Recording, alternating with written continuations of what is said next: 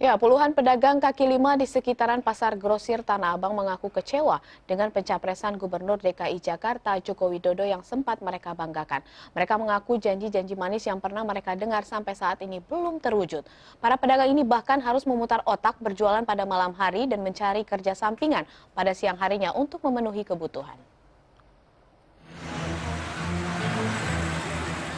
Puluhan pedagang kaki lima di sepanjang jalan Pasar Tanah Abang ini mengaku terpaksa nekat berjualan pada malam hari karena jika berjualan pada siang hari akan berurusan dengan polisi Pamong Praja. Padahal sebelumnya mereka bisa dengan leluasa berjualan di siang hari tanpa dibayang-bayangi rasa takut dikejar petugas rantin. Penghasilan mereka pun diakui menurun drastis jika dibandingkan dengan berjualan di siang hari. Meski diakui laku, tapi hasilnya hanya cukup untuk makan saja, sedangkan biaya sekolah mereka harus mencari kerja sampingan pada saat siang hari.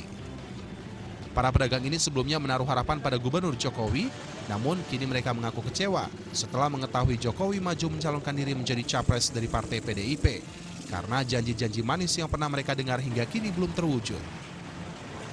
Satpol PP, Pak. Karena Satpol PP dapat perintah dari mana kalau bukan dari atasan? Siapa ya? Ya, iya kayak Jokowi begitu. Jakarta belum rapi, dia mau nyalonin jadi presiden. Gimana coba? Jakarta dirapiin dulu, kemacetan, segala apa. Buat kesejahteraan rakyat kecil.